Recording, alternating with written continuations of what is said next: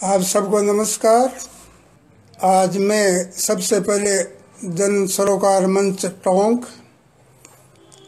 और श्री देवेंद्र जोशी जी का आभार व्यक्त करना चाहता हूँ, जिन्होंने मुझे ये मंच उपलब्ध करवाया है। और इसी के माध्यम से मैं आप सबकी, आप सबसे मुखातिब हूँ। मुझे बोलने के लिए जो विषय दिया गया है वह कुछ किस्से, कुछ कहानियाँ। इसके अंतर्गत में कवि, लेखक, विचारक श्री राम अवतार शर्मा के बारे में कुछ प्रसंग आपके सामने रखूँगा। इसके बाद समय बचा तो कुछ अन्य प्रसंग पर आपसे बातचीत करूँगा। राम अवतार जी के बारे में जहाँ तक मुझे याद है, उन्नीस सौ बासठ में झुंझुनू से समविचारों के लोगों ने पाँच छह लोगों की टीम ने एक साप्ताहिक अखबार, राहुल, शुरू किया था। उस समय मैं निकटवर्ती अपने गाँव के स्कूल में सातवीं क्लास में पढ़ता था। राहुल का प्रचार प्रसार गांव-गांव में हो गया था। शायद ही कोई गाँव बचा हो जहाँ की एक दो प्रति नहीं जाती हो। हमारे प्रधान प्रधानाध्यापक थे जयदेव जी, जो सरकारी नौकरी में थे, लेकिन पर्दे के पीछे इस टीम से सक्रिय रूप से जुड़े हुए थे। उनके कारण प्रत्येक स्कूल में राहुल की प्रतियाँ पहुँचने लगी। अखबार के प्रति इतना उत्साह था कि गाँव के कुछ लोगों ने सहयोग के रूप में बाजरे की बोरी तक राहुल की टीम को दिया, दी थी। अखबार और साहित्य किताबें पढ़ने की रुचि मेरी राहुल को पढ़कर ही पैदा हुई। तभी एक दिन जब सुबह हम छात्र स्कूल में आए तो पता लगा कि राहुल टीम का कोई व्यक्ति स्कूल में आया हुआ है। कक्षा लगने पर जयदेव जी के साथ जो व्यक्ति हमारी क्लास में आए, उनका नाम राम अवतार शर्मा था। सफ़ेद महीन धोती, सफ़ेद झक कुर्ता, पैरों में चप्पल, घूंघराले बाल और आँखों पर चश्मा पहली नज़र में मुझे बंगाली भद्र पुरुष दान पड़े। जयदेव जी के द्वारा परिचय कराने के बाद पता लगा कि ये राम अवतार शर्मा हैं, जो राहुल के अखबार के सर्वे सर्वा थे। उन्होंने हमें बताया कि राम अवतार लेखक, कवि और विचारक हैं। और रावल अखबार में जो छपता है मैटर, वह सभी इन्हीं के हाथों से गुजरता है। इस अखबार में एक व्यंग्यात्मक स्तंभ छपता था खोजी मिले घुमक्कड़ से। वो हम छात्रों के लिए बहुत लोकप्रिय स्तंभ था। अखबार आते हिम्मत हो कम से कम सबसे पहले खोजी मिले घुमक्कड़ को ही पढ़ता था। जयदेव जी ने बताया कि इस स्तंभ को लिखने वाले व्यक्ति रामोतार शर्मा हैं। सुनकर हम छात्रों ने कक्षा में तालियों से गुंजायमान करके रामोतार जी का स्वागत किया। बाद में रामोतार जी बोले, उनकी जयदेव जी ने बहुत प्रशंसा की थी। इसलिए वो एक संकोच भरे आवरण में काफ़ी देर तक कहते रहे कि मेरी आवश्यकता से ज़्यादा प्रशंसा की गई है। और फिर उन्होंने काफ़ी देर तक हम लोगों से बातचीत की। हमने सवाल, उन्होंने जब सवाल करने के लिए कहा तो रामोतार जी से किसी लड़के ने सवाल नहीं किया तो मैंने पूछा कि ख्वाजा अहमद अब्बास और कृष्ण चंद्र के लेखन में क्या अंतर है? रामोतार जी ने इसका जवाब दिया कि दोनों ही लेखक हैं, वो वामपंथी विचारधारा के हैं। लेकिन ख्वाजा अहमद अब्बास फिल्मी जगत में हैं और कृष्ण चंद्र वो पूर्णकालिक लेखक हैं। तो इस तरह से पहली बार रामोतार जी को मैंने देखा, उनसे बातचीत हुई। उन्हीं दिनों एक बार राहुल समय पर नहीं आया तो हम दो लड़के झुंझुनू आए और राहुल की प्रेस में गए। वहाँ राम रामोतार जी हमें मिल गए। अखबार तो तैयार नहीं था, लेकिन वो हमें एक रेस्टोरेंट में ले गए और हमें दही की लस्सी पिलाई। पहली बार मैंने गाँव से आके शहर में रामा, रामावतार जी के साथ में लस्सी उस दिन पी थी। और उससे उनके व्यक्तित्व का पता लगा कि दो अनजान लड़के स्कूल के, जो जान, हमारा कोई परिचय भी नहीं था, तब भी उन्होंने हमें सम्मान दिया और बाद में अखबार भेज दिया। अखबार को पढ़ने से और अन्य किताबों को पढ़ने से मुझे भी लिखने की एक जिज्ञासा हुई और मैंने एक लेख लिख करके राहुल में भेज दिया। वो लेख बाद में राहुल में छपा और जिस दिन जयदेव जयदेव जी ने मुझे बताया कि राहुल अखबार में लेख छपा है तो मुझे बड़ी खुशी हुई। ये मैं समझता हूँ कि रामोतार जी की देन थी। जयदेव जी और रामोतार जी का मेरे जीवन में बहुत बड़ा प्रभाव पड़ा। जहाँ जयदेव जी स्कूल में किताबें, विभिन्न किताबें लेखकों के ले जाते थे और अखबार मंगाते थे, रामोतार जी ने उसको आगे बढ़ाया और जब मेरा लेख लिखा, छपा तो उस दिन के बाद में रामोतार जी से मेरा परिचय दिन प्रतिदिन बढ़ता चला गया।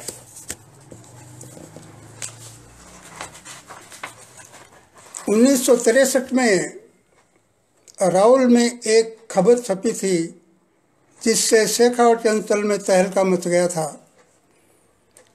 खबर की शीर्षक था, खबर का शीर्षक था अलाउद्दीन खिलजी का पुनर्जन्म, पद्मनी की इज़्ज़त खतरे में।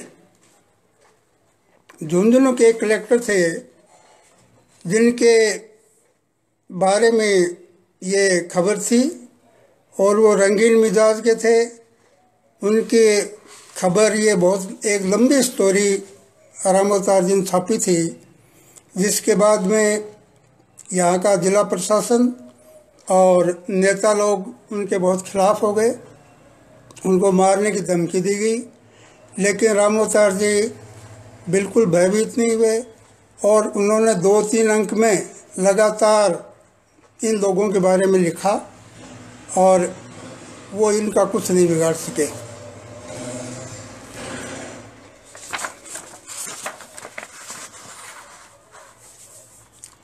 संपादक, राहुल के संपादक थे सुमेर सिंह, प्रकाशक थे विश्वेश्वर सिंह और अन्य पाँच छह लोग थे एक पूरी टीम थी। गाँव गाँव में लोकप्रिय हो गया था अखबार बहुत ज़्यादा। तो अखबार ने जन सहयोग से अपनी प्रेस भी खरीद ली बाद में और इसको सिक्कर में ले जाने की का फैसला किया। उसके बाद में मैं पैंसठ तक मेरा इनसे संपर्क रहा राम अवतार जी से। लेकिन पैंसठ के बाद में मेरा इनसे संपर्क नहीं हुआ क्योंकि मैं दूसरी जगह चला गया। और कुछ दिनों, कुछ वर्षों तक मैं इनसे अलग रहा। लेकिन इसी बीच दुर्भाग्य से इस टीम में आपस में मनमुटाव हो गया और ये छिन भिन हो गई जिसके कारण अखबार भी बंद हो गया। जहाँ तक मुझे याद है ये राहुल शायद पाँच छः साल चला और उसके बाद में बंद होने से बहुत ज़्यादा नुकसान रा, रामोतार शर्मा को हुआ। क्योंकि वो एक अच्छी वाली नौकरी एग्रीकल्चर अफसर की छोड़ के आए थे। और वो एकमात्र व्यक्ति ऐसे थे जो अपनी नौकरी छोड़ के आए थे। और जब ये आपस के झगड़े के कारण अखबार बंद हो गया तो राम मोतार जी एक तरह से ठगे से रह गए। और उनके सामने आर्थिक संकट खड़ा हो गया। और मुझे लगता है कि रामोतार जी उस टाइम महसूस हुआ होगा कि उन्होंने नौकरी छोड़ के बहुत बड़ी गलती की।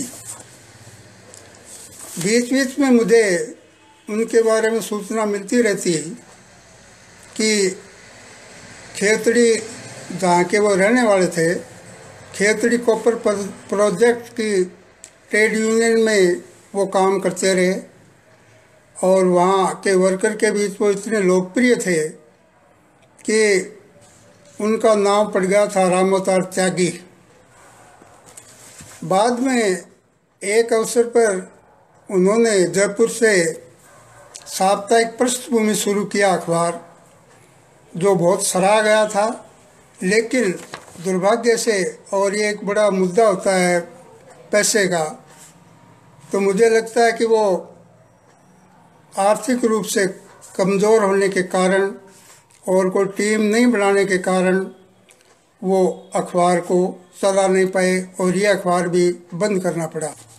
एक लंबे अंतराल के बाद उन्नीस सौ इक्यातर में रामोतार जी से मेरा पुनः संपर्क हुआ। उस समय मैं भी बेरोजगार था, एक नौकरी करता था, फौज की वो छोड़ के आ गया और रामोतार जी भी झुंझुनों में रहने लग गए थे। और उन्होंने एक साप्ताहिक पत्र हाल चाल शुरू किया।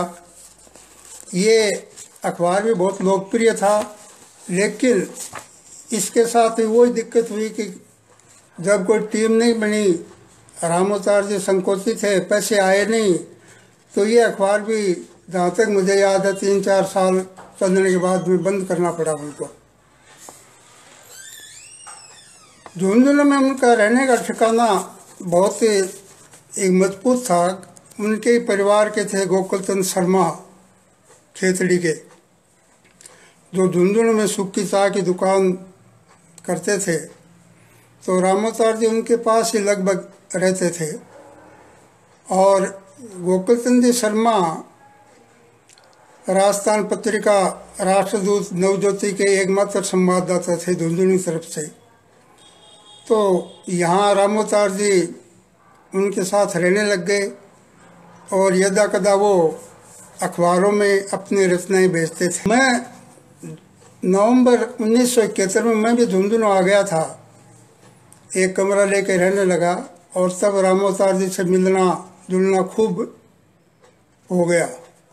हम दोनों साथ साथ जिला पुस्तकालय में जाते, वहाँ घंटों बैठे रहते थे, पढ़ते आपस में बहस होती। उस टाइम झुंझुनू पुस्तकालय अच्छी साहित्य किताबों का भंडार था और अनेक अखबारों के अलावा सारिका, धर्मयुग, साप्ताहिक हिंदुस्तान जैसे पत्र पत्रिकाएँ भी आते थे। यहाँ पर खास प्रभाव ये पड़ा कि रामोतार जी ने मुझे खास तौर से ये प्रेरणा दी कि आप सारिका को पढ़ो, ताकि समकालीन साहित्य से साहित्य से आप रूबरू हो।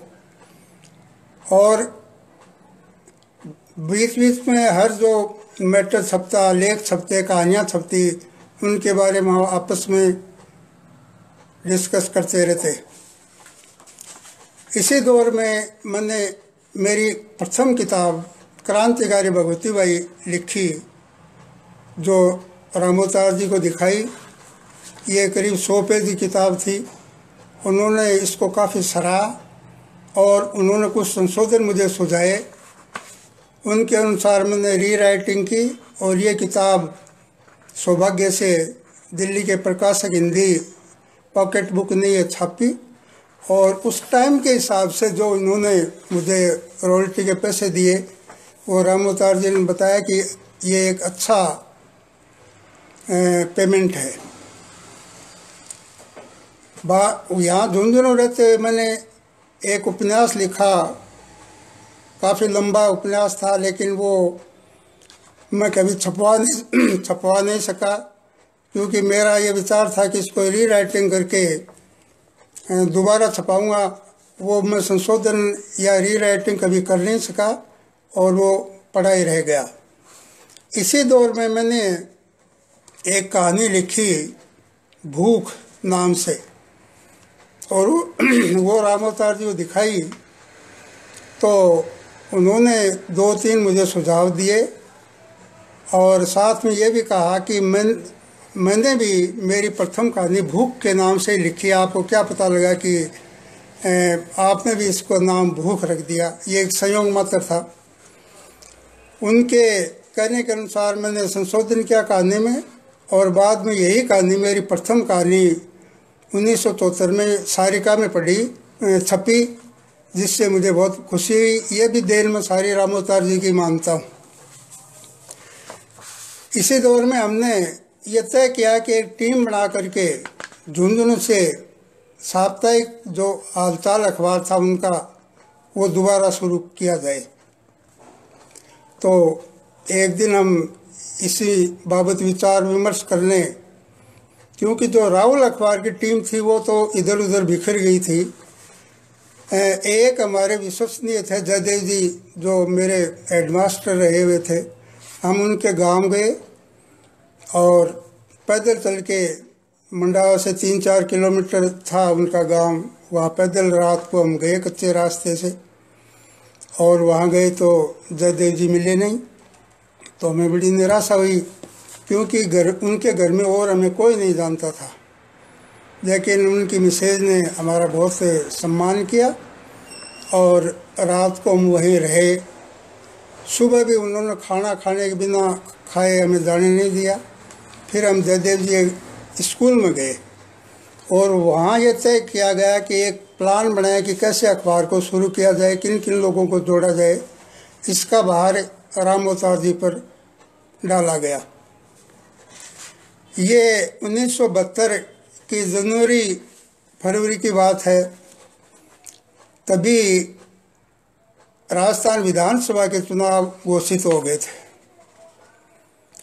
रामोतार जी उन चुनाव में लग गए। वो कांग्रेस से खेतड़ी की टिकट चाहते थे और वो दिल्ली और जयपुर के बीच में रहते थे तो हमारा उस टाइम दौरान साथ नहीं रहा। और जो प्लान अखबार के बारे में हम बनाना चाहते थे, वो नहीं बन सकी। इधर मेरा भी सिलेक्शन डाक विभाग में हो गया। रामोतार जी जब ये पता लगा तो वो उन्होंने बड़ी खुशी ज़ाहिर की। और उन्होंने कहा कि ये नौकरी ज़रूर करो। उनका ये मानना था, शायद अपना अनुभव के कारण कि लेखन जो है वो नौकरी के साथ साथ करोगे तो अच्छा रहेगा। अगर आप बिल्कुल नौक, लेखन पर ही निर्भर रहोगे तो बहुत मुश्किल होता है। सत्यनारायण जी कह रहे हैं कि रामोचार जी के संपर्क में मैं भी था तो सत्यनारायण जी से उस टाइम मेरा तो परिचय नहीं था सत्यनारायण जी, लेकिन मैं एक बार जयपुर गया था, तब वो एम आई रोड पर एक प्रेस में मुझे ले गए थे, जहाँ शायद आपका अखबार छपता था। खबर नवीस या बखत, कुछ इस तरह का नाम था। और सब उन्होंने बताया था कि सत्यनारायण, शायद मुझे जहाँ तक याद है, सत्यनारायण सिंह कहते थे। कि सत्यनारायण सिंह अखबार को निकालते हैं। तो मैं, मेरी सर्विस लग गई, मैं गंगानगर में अपॉइंटमेंट हो गया, और बाद में रामोतार जी फिर एक बार हालचाल को शुरू किया उन्होंने साप्ताहिक को, और वो दो तीन साल यहाँ चले, चला अखबार। उसके बाद वो परिवार सहित जयपुर में एक एमएलए क्वार्टर में रहने लगे थे। और उन्नीस में मेरा भी तबादला जयपुर हो गया था।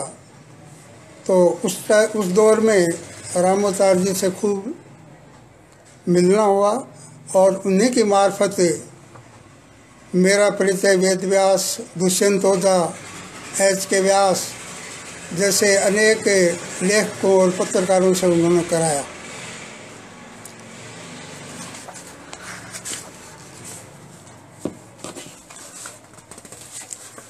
राम अवतार जी इस दौर में उनकी रचनाएँ राजस्थान पत्रिका की तो मुझे जानकारी है, शायद राष्ट्र नवज्योति में भी छपती थी, कविताएँ छपती थी तो वो सिर्फ़ राम अवतार ही लगाते थे, शर्मा नाम नहीं लगाते थे। वो कहते थे कि रामावतार भी नहीं, राम अवतार, इस तरह वो लिखते थे। और दिल में दो तीन दिन से हमारा आपस में संपर्क हो ही जाता था। मैं भी वहीं जादूपुरा में रहता था।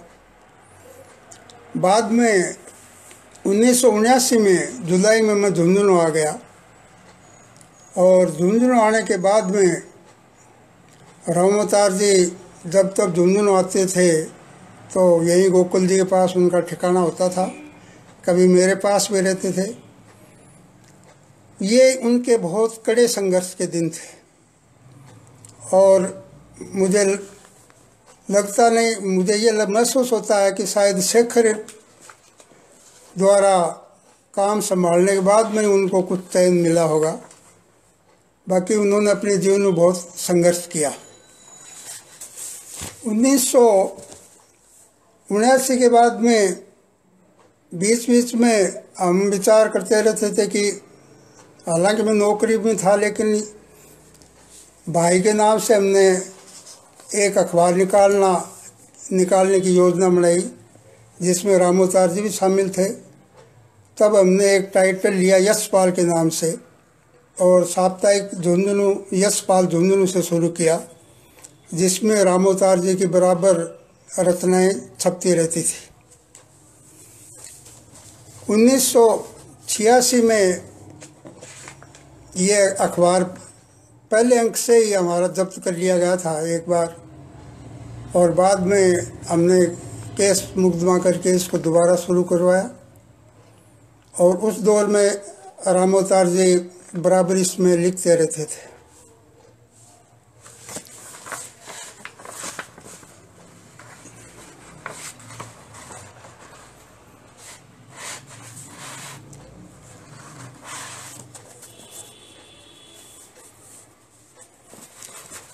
उन्नीस सौ छियानवे में मैं, मैंने, मैं चौधरी चरण सिंह के व्यक्तित्व से, उनकी कर्मठता से, उनके ईमानदारी से बहुत प्रभावित था। तो उन्नीस सौ छियानवे में मैंने चौधरी चरण सिंह के जीवन पर आधारित एक पुस्तक लिखी थी, एक और कबीर।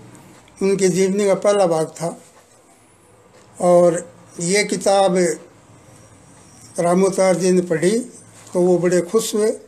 और फिर वेद व्यास को वेद व्यास को लेकर गए झुंझुनों में, किताब का विमोचन हुआ। और उसी के, इसकी भी एक अजीब अजीब कहानी है कि एक और कबीर जब मैंने नाम रखा और वेद व्यास को लिखा, कि आप इसको विमोचन, इसका विमोचन कीजिए चौधरी चरण सिंह के जीवन पर आधारित किताब है। तो उन्होंने जहाँ तक मुझे याद है, शायद ये लिखा था कि कहाँ, चौधरी चरण सिंह, कहाँ कबीर? आप किसी और से भी मोचन करवाइए। तो मैंने रामोतार जी से कह करके ये किताब की कॉपी उनके पास भिजवा दी, वेद व्यास के पास। और उसके बाद में वेद जी का लंबा पत्र आया कि मेरी गलती हो गई और किताब बहुत अच्छी है और अब आप जब भी कहोगे, मैं झुंझुन आने के लिए तैयार हूँ और वो राम अवतार जी के साथ झुंझुन आए और किताब का विमोचन किया।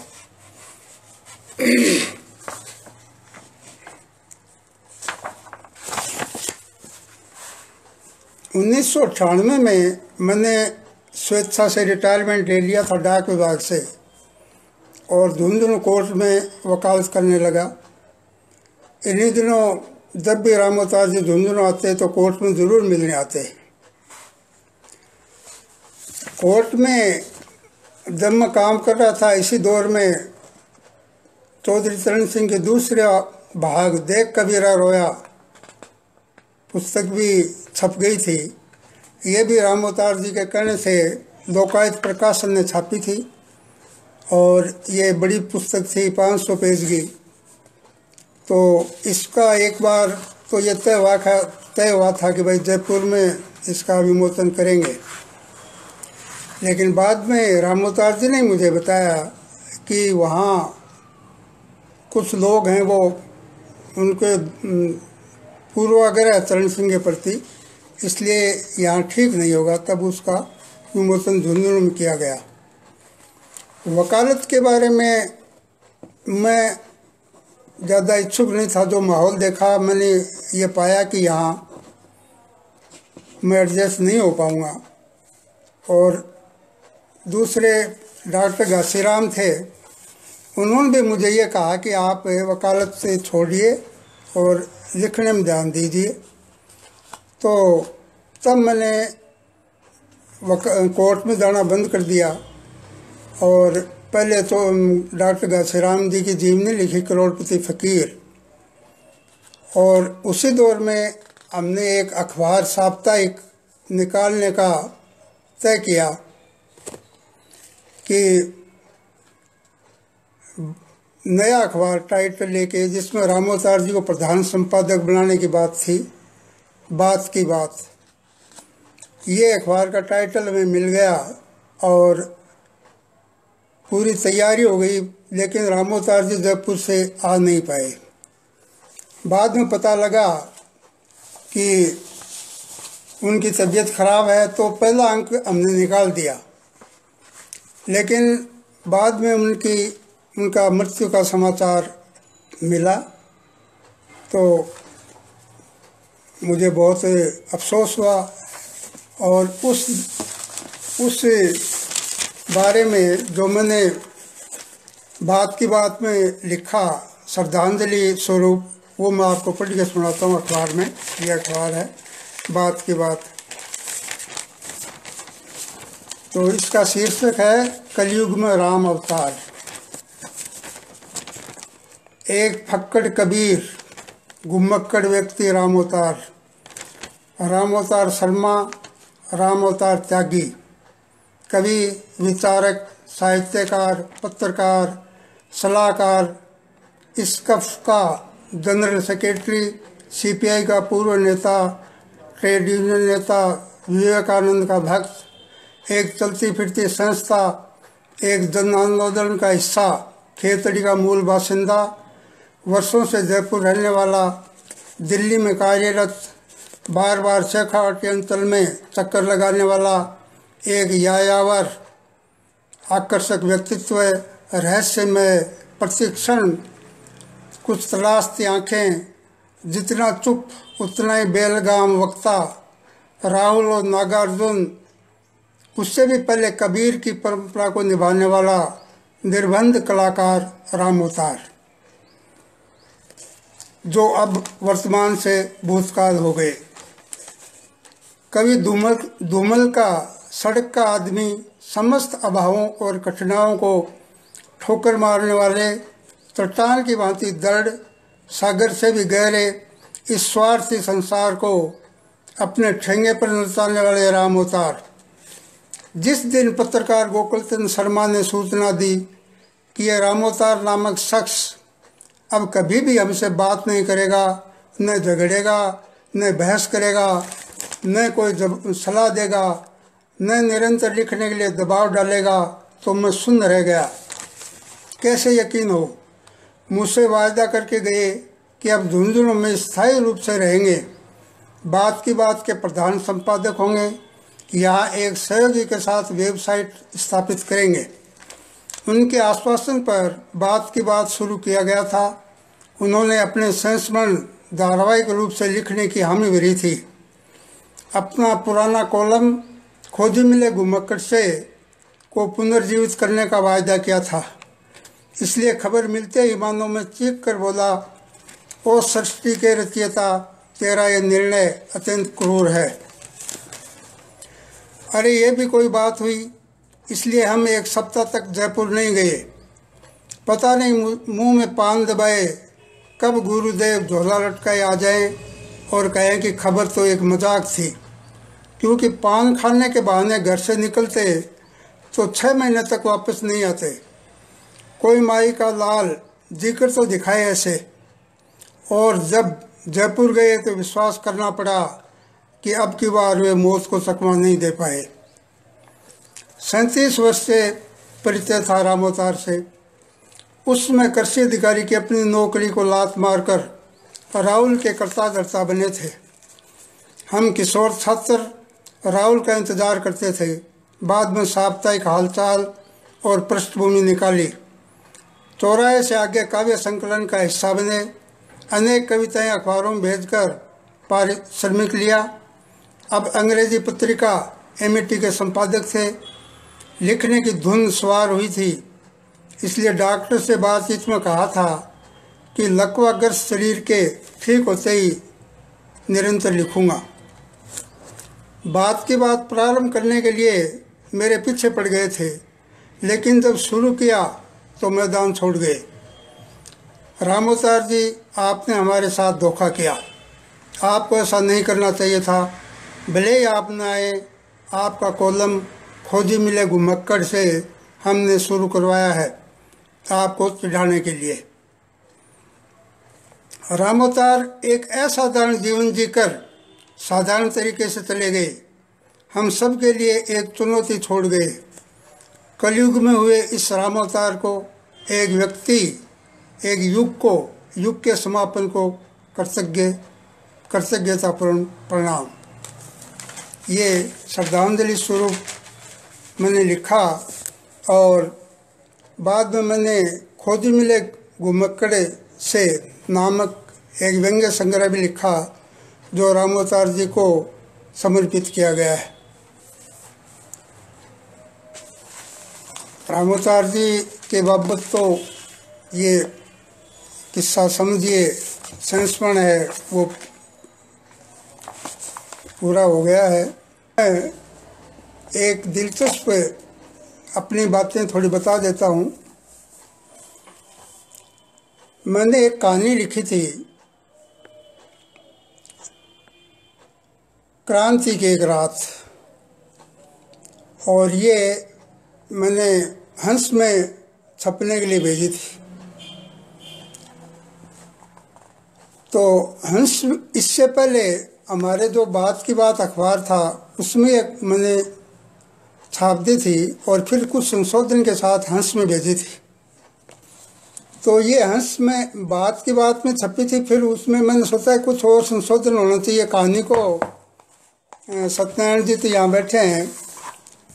सुन रहे हैं कहानी को मैं सबसे कठिन विधा मानता हूँ। तो बार बार मैं जब भी कहानी लिखता हूँ बार बार मैं उसमें संशोधन करता हूँ री राइटिंग करता हूँ। बात की बात में छपने के बाद में, ये तो लोकल अखबार था तो मैंने संशोधन करके हंस में भेज दिया। हंस से राजेंद्र जी थे उस टाइम उनका जवाब वापस लौटा दी उन्होंने। कि ये कहानी हंस में पहले छप चुकी है कामरेड का कोट नाम से। मैंने कामरेड का कोट कहानी नहीं पढ़ी थी। मुझे पता नहीं था कि मैंने इधर उधर तलाश भी किया, बाद में तो वो मिल भी गई थी। लेकिन दिलचस्प जो वाक़ वो ये है कि जब बात की बात में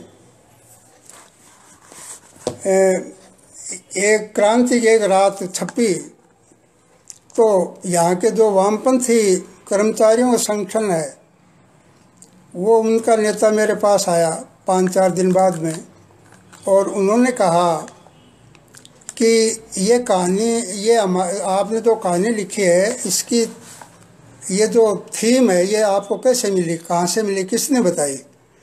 मैंने कहा, कैसे? ये तो मेरी कल्पना है, मुझे किसी ने नहीं बताई। तो उन्होंने कहा कि नहीं, ये घटना हमारे संगठन में हो चुकी है, इस तरह की जो आपने लिखा है। और आपको किसी ने हमारे कर्मचारी ने बताया है। तो मुझे बड़ा आश्चर्य हुआ। दो एक तरफ़ तो कर्मचारी संगठन कह रहा है कि कहानी आपने जो लिखी है, ये हमारे संगठन में गठित हुई है। दूसरी, राजेंद्र जी ने यह कहा कि यह कहानी पहले छप चुकी है। तो मुझे बड़ी इस बारे में आश्चर्य हो रहा था। उन्हीं दिनों चूरू में एक साहित्यक कार्यक्रम था और वहाँ कार्यवाहक संपादक संजीव आए थे। तो मैंने ये दोनों घटनाएँ उनको बताई कि एक तरफ़ तो आप कहते हैं कि कामरेड का कोट है, वो छप चुका है, उसके उसके अनुसार ही आपकी कहानी है। और दूसरी मैंने कहा, झुंझुनू में जो कर्मचारी संगठन है, उन्होंने कहा कि हमारे ऊपर लिखी गई है। तो वो बड़े हंसे और फिर उन्होंने कहा कि ठीक आप दोबारा भेज दो कहानी को। हालाँकि वो दोबारा मैंने नहीं भेजी। तो कई बार मैं ये कहना चाहता हूँ कि कुछ रचनाएँ जाने अनजाने में एक जैसी मालूम पड़ती हैं। यह कहानी में अक्सर होता रहता है। एक हंस में एक चला भी था काफ़ी, और एक भगवान के नाम से चली थी कहानी का नाम मुझे याद नहीं आ रहा है। तो उस पर भी काफ़ी विवाद हुआ था। तो ये एक किस्सा मेरी कहानी के बाबत है। दूसरी, हम लोग तो मैं अपने जो मन की बात है, एक तो मन की बात हम सुनते सुनते बोर हो गए।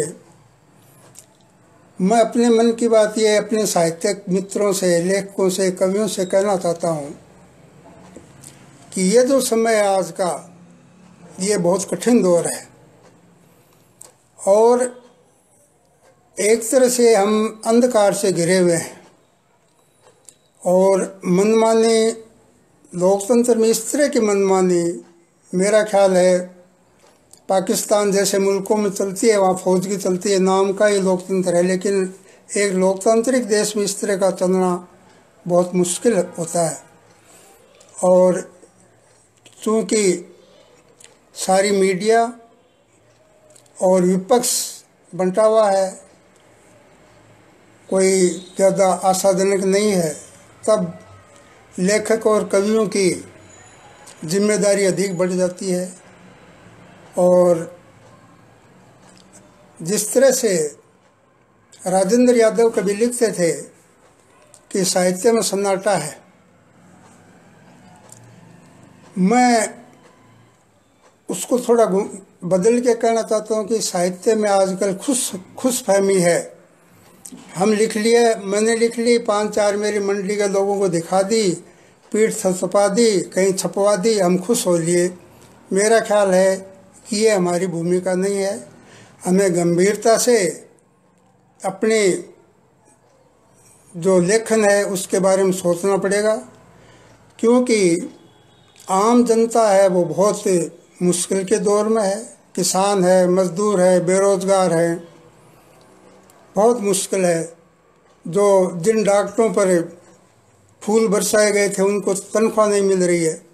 तो मैं मैं ये कहना चाहता हूँ कि हम जो लिखें, एक नए सिरे से लिखें आम जन की तकलीफ़ों को आगे लाएँ और ये जो एक कुठाराघात हो रहा है, उससे, उसके ऊपर सोच करें, तभी हमारा लेखन सार्थक हो सकेगा।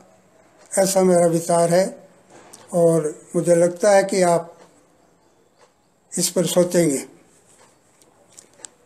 जहाँ तक ज़्यादा प्रचार प्रसार का मैं अलग रहा हूँ प्रचार प्रसार से। अभी प्रगतिशील लेखक संघ से जुड़ने के वेद व्यास जगह जुड़ा हुआ था, लेकिन मैं उस टाइम हमने जो संगठन बनाया था, मैंने उसमें कोई पदाधिकारी नहीं था मैं। और अब चूँकि यहाँ अध्यक्ष बना लिया गया, फिर दो तीन बार जयपुर चले गए तो अपने लेखन के बारे में मैं थोड़ा सा आपको जानकारी दे दूँ, या मेरा उद्देश्य जो है कि मन भगत सिंह की जीवनी भी लिखी है, चौधरी चरण सिंह की लिखी है, हमारे एक बहुत अच्छे डॉक्टर जैन थे झुंझुनू में, उनकी जीवनी लिखी है। दो उपन्यास लिखे हैं और राजनीति और इतिहास के ऊपर तीन चार किताबें हैं। इस तरह से कुछ मिला के मैंने करीब पंद्रह किताब लिखी है। मेरा ये मानना है कि जो आम जनता के मुद्दे हैं, वो चाहे कहानी के मार्फत लाए आप, निबंध के मार्फत लाएँ उपन्यास के, कैसे भी लाएँ कविता के माध्यम से लाएँ लेकिन उन पर हमें ध्यान देना चाहिए और उसी को आगे लाना चाहिए, ऐसा मेरा विचार है।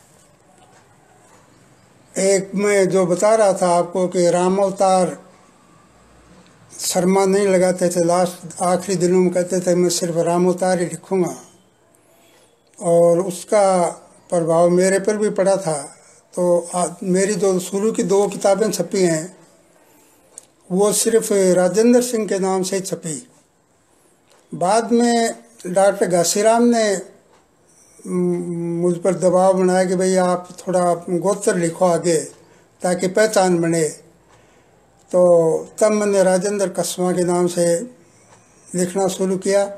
हालाँकि गोत्र लिखने का मतलब ये नहीं है कि हम जातिवादी या गोत्र को हाईलाइट ज़्यादा करते हैं, लेकिन आज भी मुझे, जैसे सत्यनारायण नाम है, कैलाश मंदिर है उमा है, ये नाम अच्छे लगते हैं कि जहाँ कोई जाति, गोत्र का उल्लेख नहीं होता। इसका मतलब यह भी नहीं है कि गोत्र कोई लिखता है तो वो जातिवादी है या गोत्र में विश्वास करता है। लेकिन एक लेखक का अगर इस तरह लिखता है, कमलेश्वर हैं, यशपाल हैं जनेन्द्र कुमार हैं तो इस तरह के नाम वास्तव में बहुत ही प्रेरणा देने वाले होते हैं। और आप सबने मेरी बात सुनी। रामोतार जी को हमने आज याद किया इस बहाने।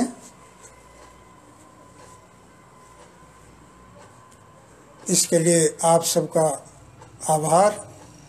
एक बार फिर जन सरोकार मंच टोंक और देवेंद्र जी जोशी को के प्रति मैं कृतज्ञता प्रकट करता हूँ।